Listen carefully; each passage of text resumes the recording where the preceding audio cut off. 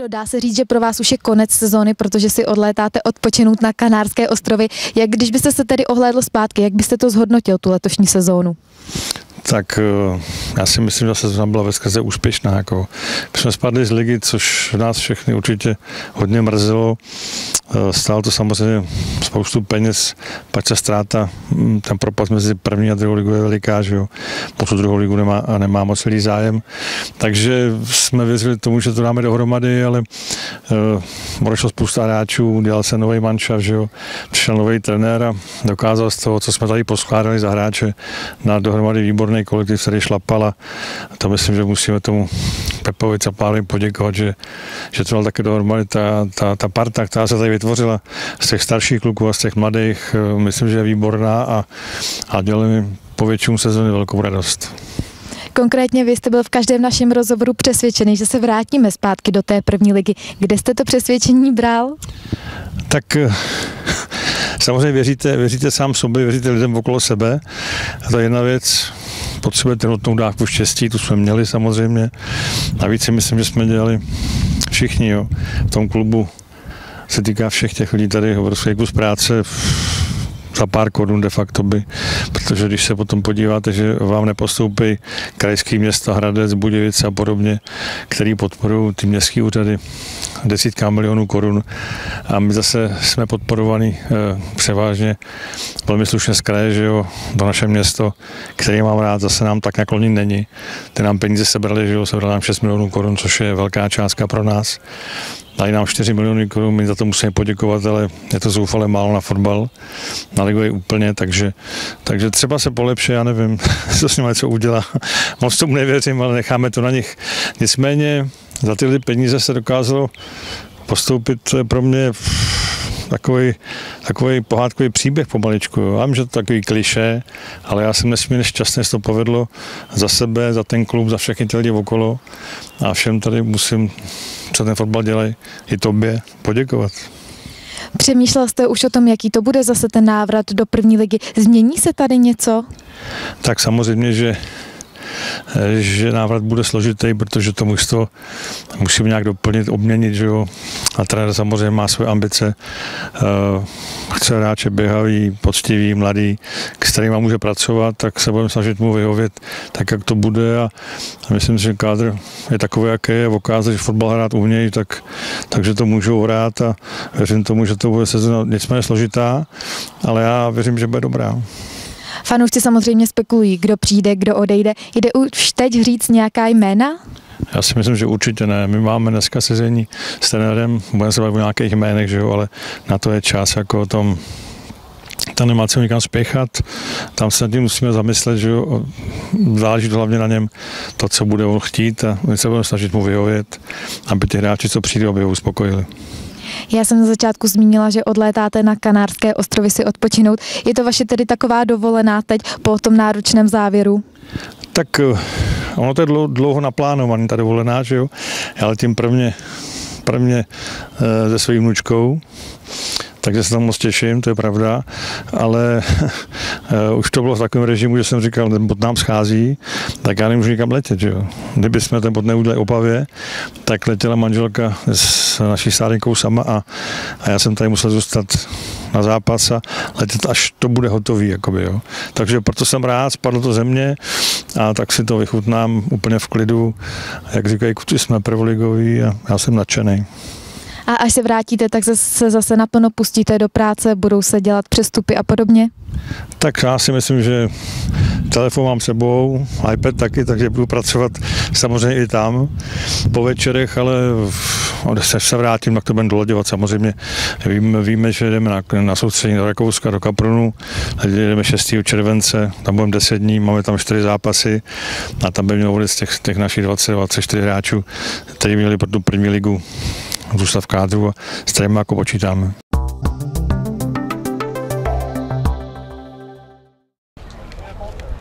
Klauni, cukrová vata, trdelník, pouťové atrakce a nebo vojenská technika.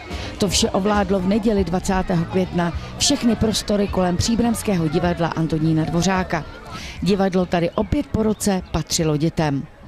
Hrála se divadelní představení, skotačilo se na vodě v koulích, malovalo se na obličej, ale nejen zvířecí podobizny, ale členky Českého červeného kříže oblastního spolku Příbram zde malým i velkým maskovali řezná zranění na různé části těla. Nechybělo zde i procvičování obvazové techniky anebo ukázka masáže srdce. A tentokrát si to zkoušeli hlavně malé děti, které se s tímto úkolem poprali na jedničku. Na silnici si objevil i oranžový vláček, který vozil velké i malé okolo divadla. Své místo tady měli i dobrovolní hasiči. Zajímavý byl i transport pejsků, který byl u divadla k vidění už v loňském roce.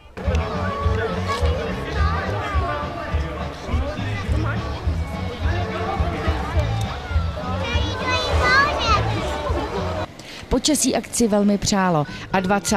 květnový nedělní den byl jistě pro všechny děti velkým dárkem k jejich nastávajícímu svátku.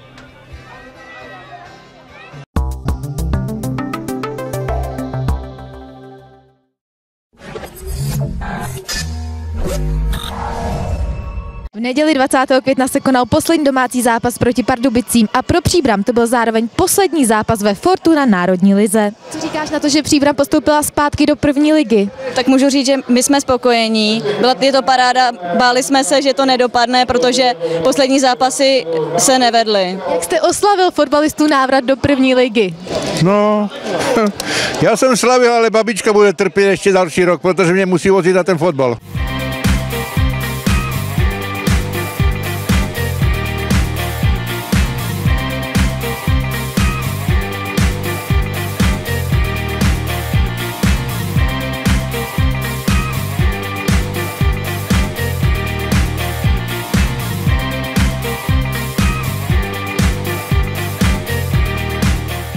Zápas byl vstup zdarma a k prodeji byla limitovaná edice postupových triček. Ale to šlo to docela na dračku, už nemáme ani jedno a prej to bude přes internet na objednávku někde. No. A jak probíhaly oslavy, to se podívejte sami.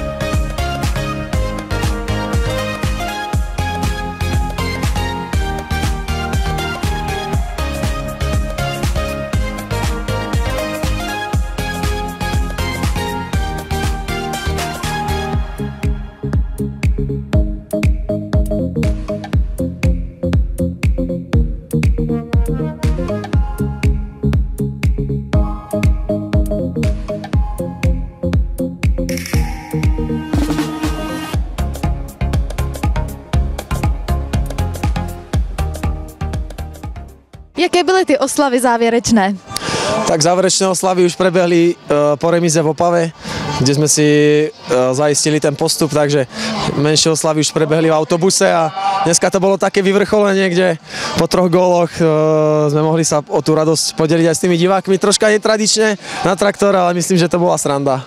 A co to utkání, jak by si ho zhodnotil? A myslím si, že Pardubice hrali pekný kombinačný fotbal a my sme čakali na našu šancu, tá prišla, prakticky sme to vykombinovali do prázdnej brány a aj keď sa snažili Pardubice ďalej hrať, tak uh, z tých šancí, čo sme mali, sme ten výsledok potvrdili a uh, treba uznať superu kva, kvalita, fú, ešte raz, treba uznať kvality supera, ale myslím si, že sme uh, potvrdili našu ofenzívu. Hrálo se vám více uvolněněji, když už jste v té první lize? Určite, aspoň si teda myslím, že ten tlak eh, nebol až taký, ako uh, keď tam bola tá podmienka, že musíme kvôli niečomu vyhrávať. Uh, možno tralo, hralo trošku uvoľnenejšie, ale chceli sme vyhrať, lebo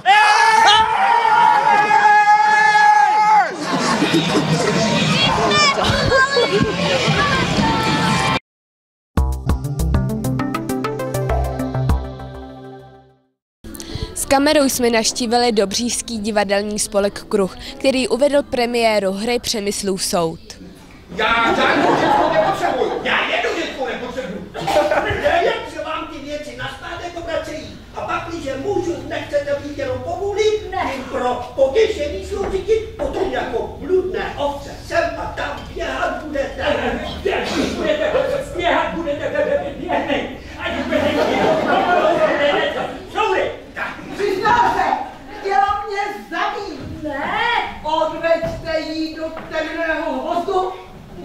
měli vnitra vladyka stírat na kopaninu, rozsoudit spory tamnějších dlužníků.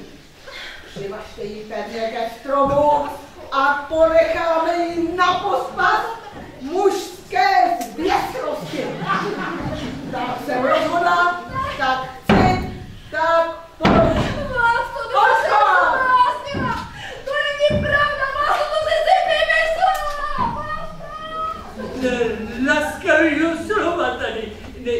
není slyšet. No jo, uteču k ta, tačínko. Kdyby mi a- aspoň koukla na mou šumu, nebo by, by mě měla s franským ku- kupcem rysí kůži za, za takovej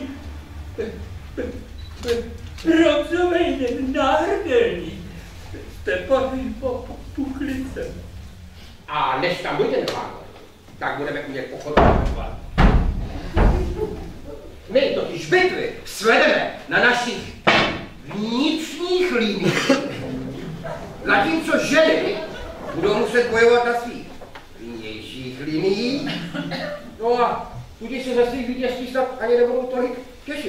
Tak si představte, že tento festival je 13. což já nevím, pro někoho šťastný, pro někoho nešťastný číslo, ale skutečně celý rok se my připravujeme na tento festival. Většinou cvičíme a hrajeme na festivalu my jako soubor Dobřížský, čili soubor Kruh neboli Disk. Eh, Hrajeme tady vždycky premiéru. Jo? Dneska jsme hráli eh, Přemyslův soud od Erika Hrycha.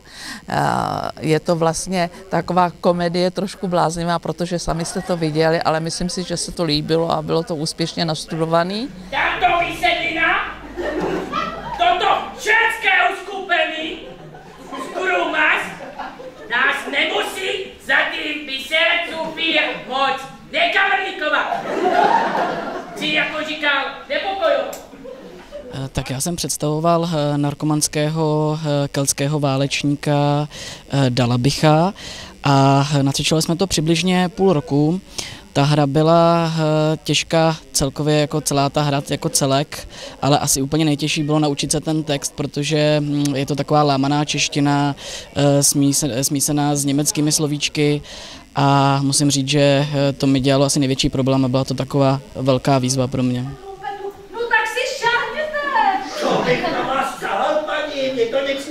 Ha ha ha!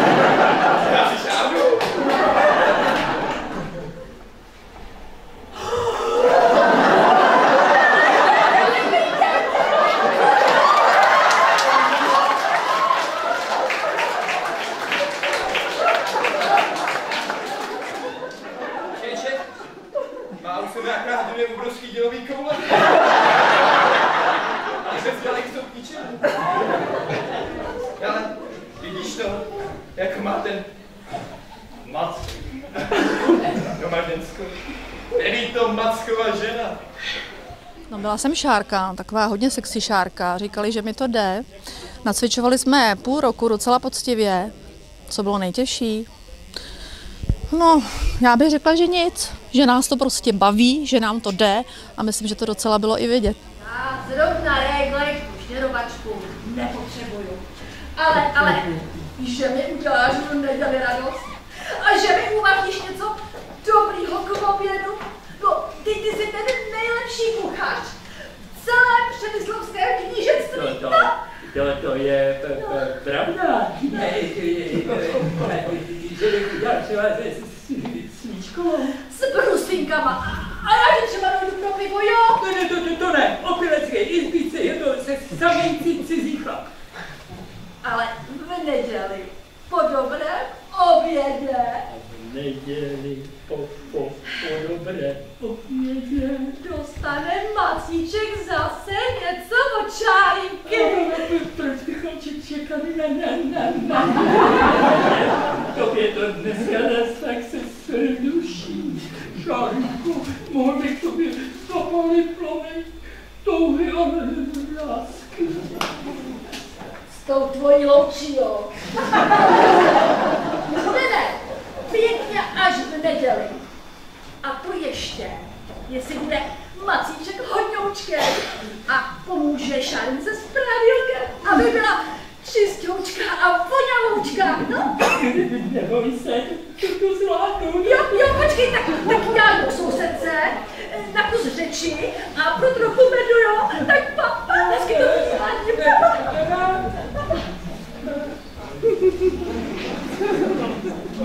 Málo plat není na to, když to mužský jdeme po, pořádně do ruba.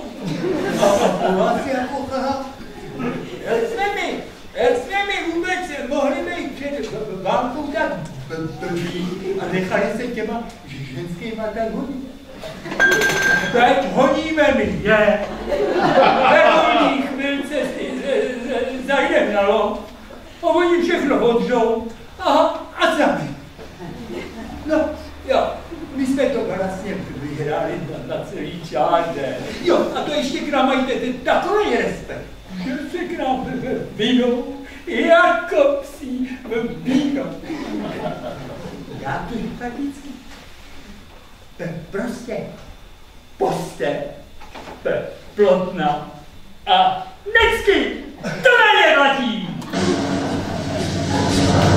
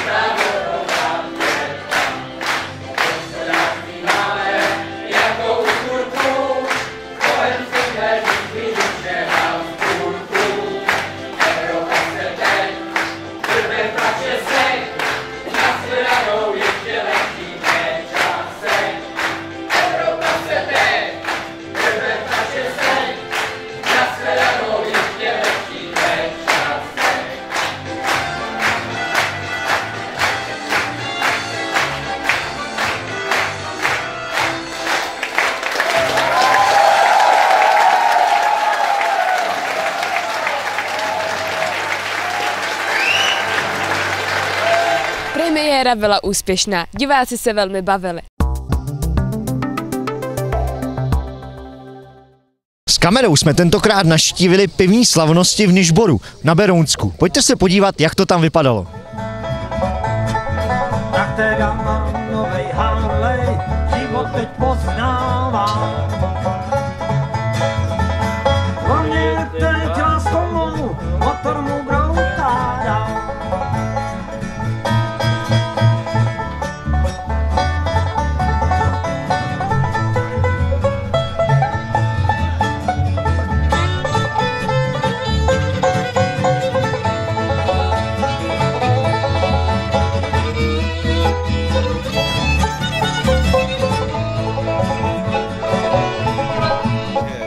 Naše pivo vlastně se nachází v lokalitě Kokořínska.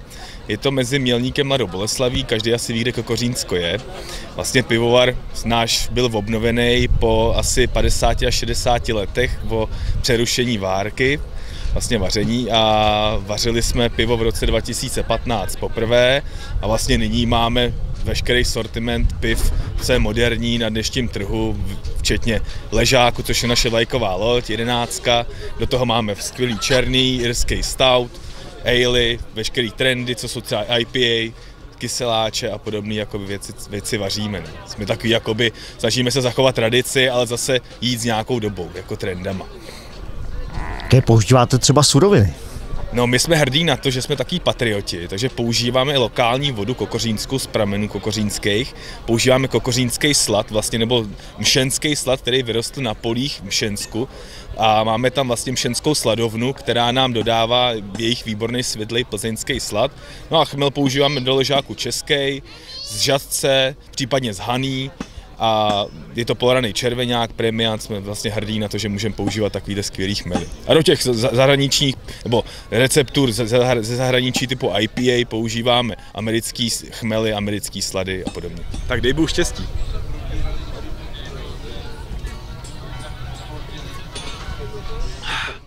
Eh, pojďme něco prozradit o Heroldu. Tak, pivovar Herold eh, je z Březnice od Příbramy, starší pivovar, 1506 založený. Aktuálně děláme piva desítka, dvanáctka, filtrovaný, nefiltrovaný, dvanáctka pšeničná, třináctka tmavá, čtrnáctka plomová, čtrnáctka světla a v lahvičkách i speciál Bastard. Vyzdvihnout nějaký, který je nejlepší, asi nejde, protože jsou výborný úplně všechny. Ideálně, ideálně oskoušet, postupně, ať už někde v restauraci nebo přímo v pivovaru si zajet domů na zahradu, v lahvičkách, v sudu, nemůžete prohloupit. Jaký máte třeba vy nejraději? No, hele, to taky asi neřeknu úplně, ale asi bych dal dvanáctku. Dvanáctku, klasickou, filtrovanou, ta je taková pro mě, pro mě top, bych řekl osobně. Tak co říkáte na pivo Herold? Výborný, výborná chuť krásně vychlazený, můžu jenom doporučit. Tak zeptám se, pojďte nám něco prozradit o vašem pivovaru a pivu. Náš pivovar je malý a naše pivo je výborný. Kolik těch eh, piv vlastně děláte a jaké máte? Děláme desítku, jedenáctku, dvanáctku, tmavou třináctku, patnáctku Ejla a děláme speciály. Teďka aktuálně chystáme nový speciální ale, bude takový trošku odlehčený na léto, měla by to být jedenáctka a bude to prokvašený s pomerančovou šťávou, takže to bude takový, takový výborný pití, bude to uh, dochucený německýma, německýma chmelama, aby to tomu dalo zase úplně jiný šmerenc. Takže až přijedete do Loun, tak určitě se zastavte. Tak zeptám se, jaké pivo jste si dal a jak vám chutná? Já jsem si dal belgický 18 a chutná mi. Co k tomu dodat?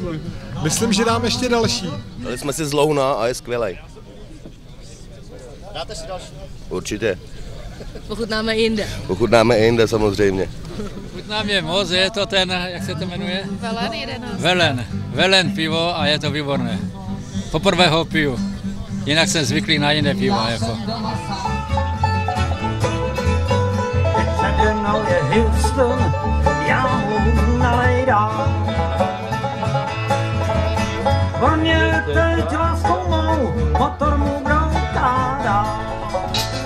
Pivní festival se povedl.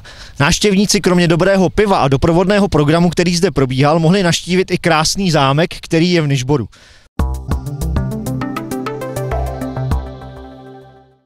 Já bych sem chtěla pozvat všechny návštěvníky Hornického muzea na sobotu 26. května, kdy od 18 do 23 hodin probíhá na dole Ana muzejní noc.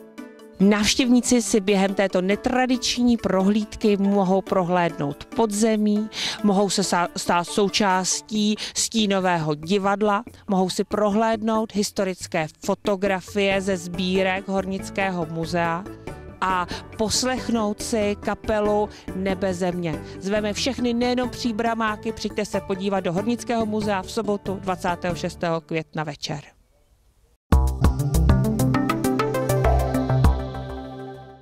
Tady v Obesnici se chystá další ročník jední zajímavý soutěži, tak o co půjde? No, bude to 16. ročník eh, běhu na lyžích. Je to velká černová cena rezervace v běhu na lyžích.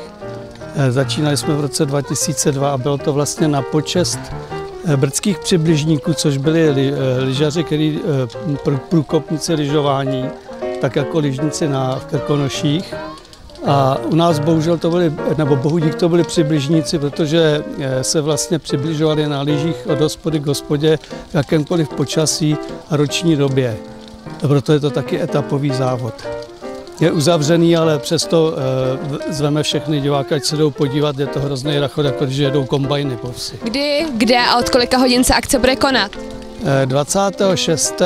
v sobotu května Eh, je to vlastně eh, velká černovále, koná se vždycky poslední týden v květnu a bude to ve dvě hodiny se vybíhá zde od nás z rezervace.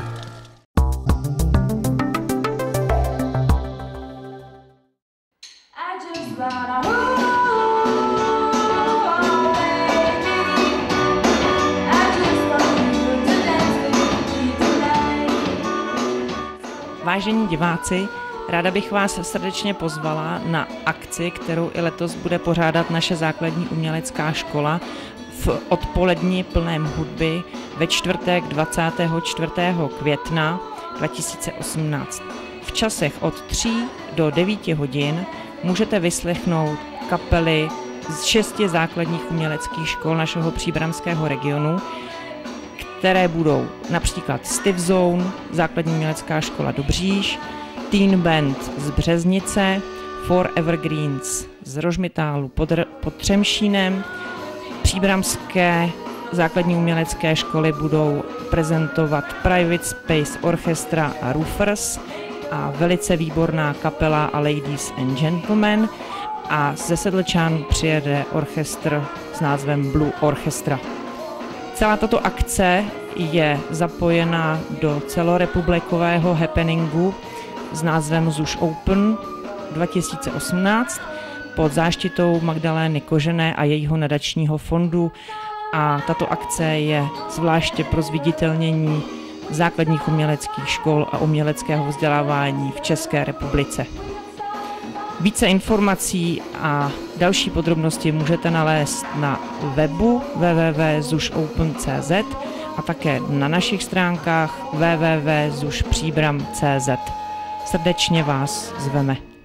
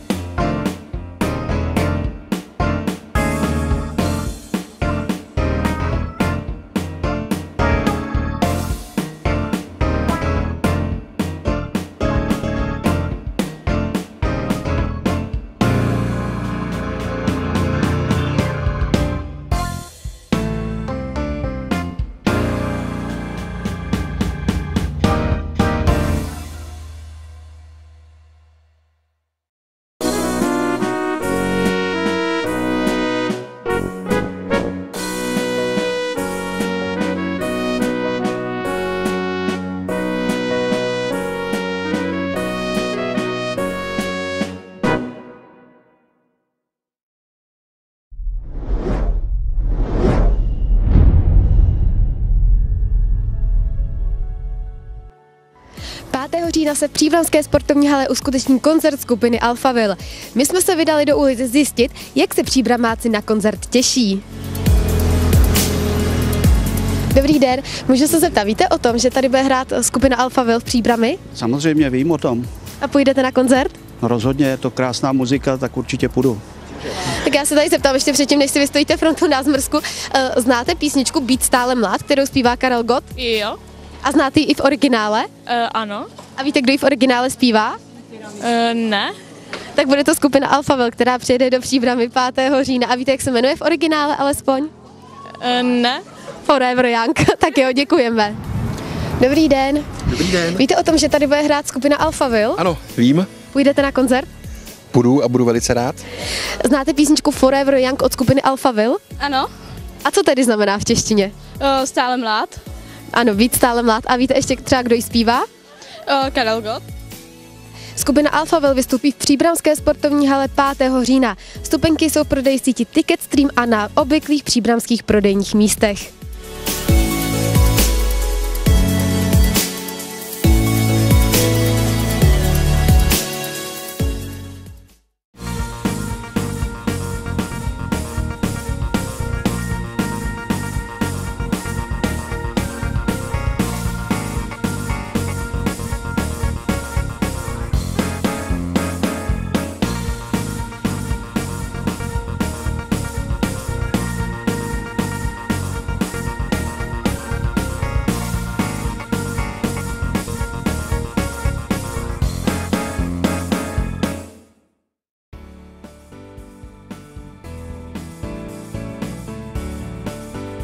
Klientky jsme připravili spoustu akcí, které jsou na duben, květen, červen a je to hubnutí do plavek.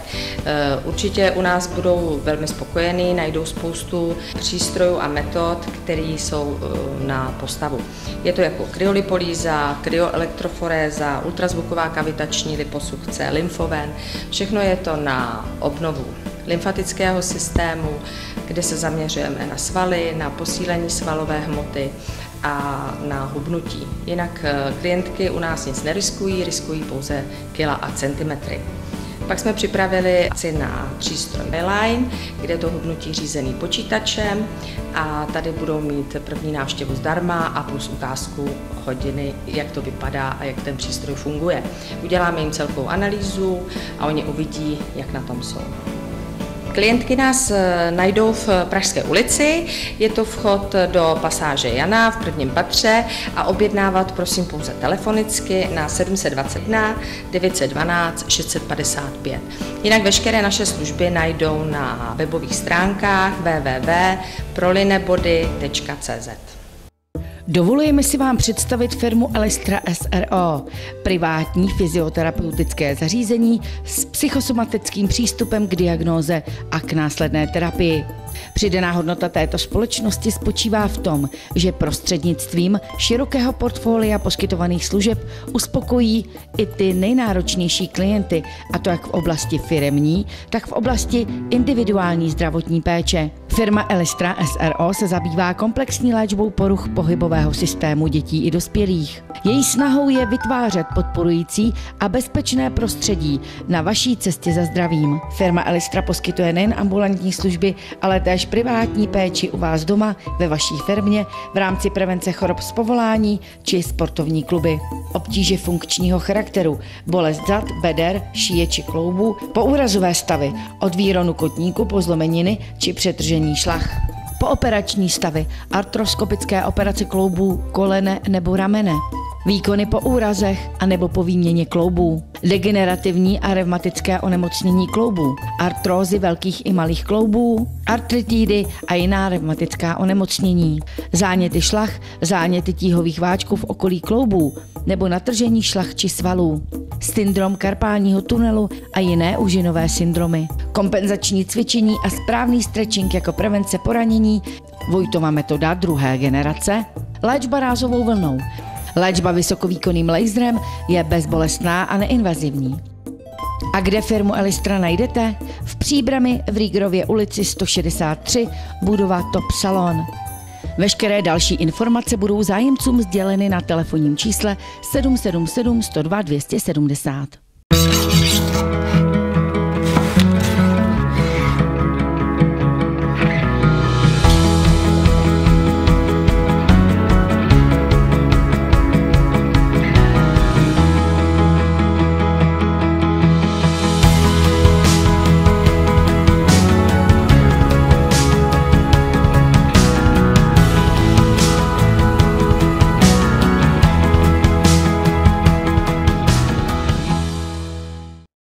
Stanice technické kontroly Obecnická a Sokom Příbram nabízí technickou prohlídku osobních vozů.